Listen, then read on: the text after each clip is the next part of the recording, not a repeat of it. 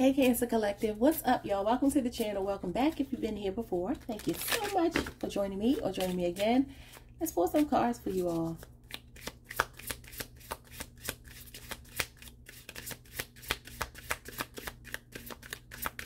Spirit, what does my Cancer Collective need to know right now?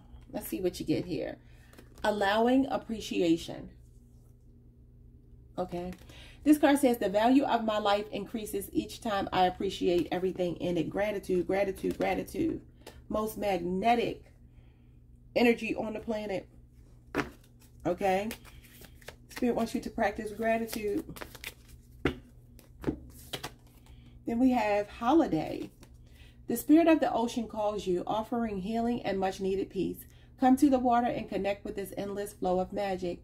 You need a change of scenery take a holiday and all will fall into place. So some of you need to just make time to go on a vacation here. Be by the water. You are a water sign, okay? You need to be near your own element, in your own element. Maybe just go for a swim at your pool if that's all you can do right now. You know, I've been, I told y'all last night when I did y'all reading or the, whatever I did your reading last. I told you you needed a break. You needed to take a vacation, even if it was just a staycation. Spend some time with your loved ones coming out again. You have so much to be grateful for, Cancer. And it's the little things. It really is. You know, when we give thanks for the little things, God, God blesses us with bigger things, okay? The major things. Let's see. We have keys on trees, number 49. I forgot what this card means, y'all. And I, I don't know where the book is. Uh, let me see if I can find it online. Okay, someone could be 49 or that number could be significant for one reason or another. But let's look this card up because um I know this deck is online, but it's kind of hard to find. Let's see. Keys on trees.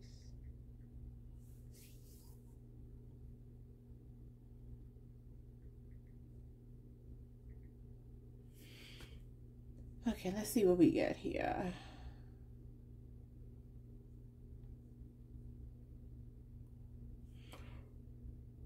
I know that this is online. I don't know why I can't find it now that I'm looking for it. I stumbled upon it one day, but I'm like, now I can't find it.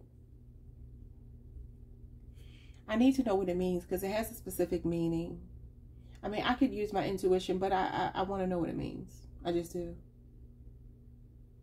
Okay, what's the name of this deck here? I'm sorry. Let me pause, y'all. Hold on. Okay, y'all. So from what I could fathom from what I just listened to because I wasn't able to find the guidebook online either. Now, I don't know what I did with the real guidebook or the one online, Jesus.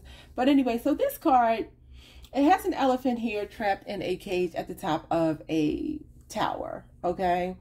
And although the elephant is in the cage, all of the trees around the elephant as well as on the elephant's trunk there is a key right meaning that the, the elephant can set itself free at any time Okay, now I want to go back to what I told you all last night because that makes a lot of sense.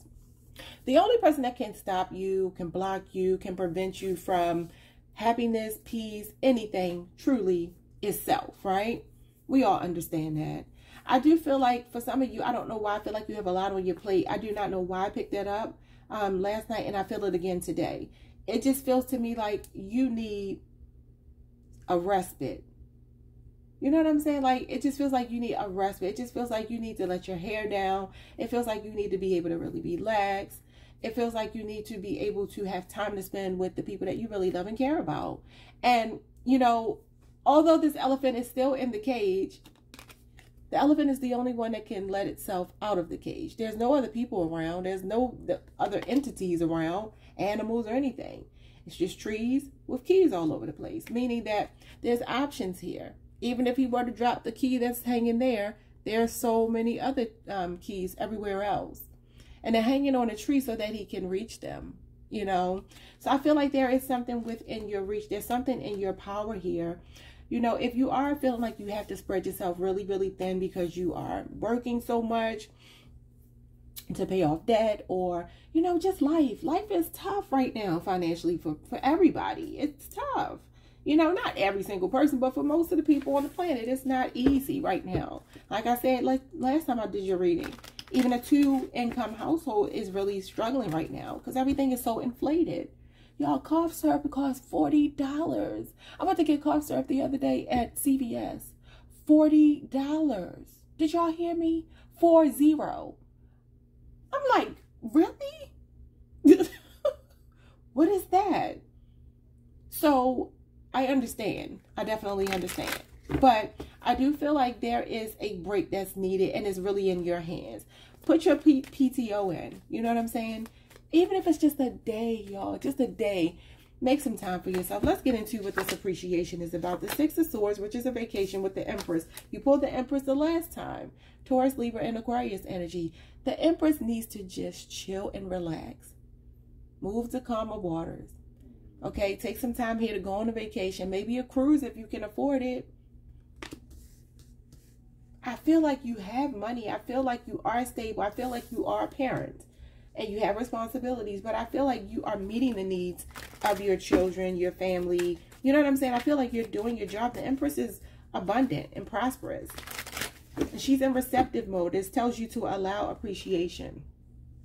The value of my life increases each time I appreciate everything in it. I feel like the more calm you are, Six of Swords, the more magnetizes to you. Like you don't have to go looking for the money may sound easier said than done, but truth be told, the, the Empress is a manifester. This is abundance, prosperity. This is the feeling of sitting in a lap of luxury. Okay. Got the Ten of Wands in reverse. Yep, you're, you're about to start creating better balance in your life with the Wheel of Fortune in reverse. Some of you are about to start to accept that, you know what, some things are just out of my control and I just have to leave it to fate. Literally, both of these cards mean leave it to fate. And they're both number 10s, which means it's time for something to end and a new way to begin. Okay, for some of you, maybe you are dealing with financial upheaval right now because the Wheel of Fortune in reverse can be a string of bad luck. It can be, you know, feeling like you are very misfortunate unfortunate, whatever, right? But the thing is, this is where you get to the point where you're like, you know what, what can I do about it? Me not living my life, me not spending time with my friends and family and, and you know, enjoying life just because a bill came up or just because whatever happened that I didn't foresee coming, that ain't going to make it be any better. That's not going to change the situation. What's this holiday? The Knight of Pentacles. Yeah, you all work, no play. Four of Swords, that's a vacation. Some of you are so hardworking, you're diligent, you're committed, you're meticulous, you're methodical. You're the kind of people who like to finish what you start. And you could definitely be an overthinker here. You might be a perfectionist, you know, workaholic for sure. And this is telling you time to put that away and, and take a break. You can't make it up. Virgo and Libra energy. Let's see what this keys on trees is. Let's keys on trees. Y'all, you got the tower coming out again. Well, this time it's in reverse, but this is the tower too. The tower in reverse when you're not learning a lesson. The two of cups. I told you, it's like you have a lover or something. Yeah, the six of cups. I've, and then the three of pentacles here. Some of you, it's a hard, it's a hard thing trying to balance work and home. We got Cap Capricorn, Scorpio, Cancer, Taurus. Why did I say Taurus? And Aries showing up here. What is this? I'm sorry, y'all. Yeah, so I do see some of you um, making time for your loved ones. This couple looks like they're on a picnic. This man is fishing with his son. And it's like work is going to have to wait. Because it's getting to a point where it, it's like you can't have it both ways. You can't be in two places at one time. Nine of Pentacles going into the Four of Swords means somebody's really working hard and they need a break. Bottom of the deck, we have the Eight of Pentacles in reverse. It's time to take a break because this is one of the hardest working cards in the tarot. It's in reverse. Eight of Cups in reverse and the Fool is in reverse. Yes, like some of you have been so hell-bent on finishing a project or working, making your money or whatever you've been committed to. It feels like work. And it's like other areas of your life have suffered. Some of you just feel like you don't have the resources or you're just not able to make time. But I feel like Spirit is telling you either you're going to do it or I'm going to sit you down. Because you might be reaching burnout. Ten of Wands is in reverse. That could even be like making yourself sick by working so much, y'all. Yep. So it tells you here to take a holiday. I told y'all that last night, and you have so many cards here that tells you it's time for you to take a break.